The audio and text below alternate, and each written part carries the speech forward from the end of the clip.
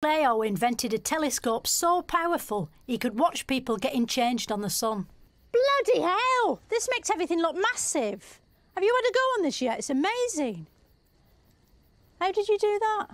Are you the real Galileo or an actor one? Was the real one busy? Galileo's astronomical smartassery led him to a discovery so shocking the Pope shut his hat off.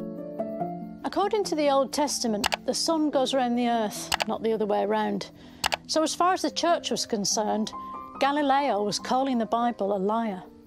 Rather than overreact, they did the Christian thing by accusing him of heresy and finding him guilty in a corrupt show trial.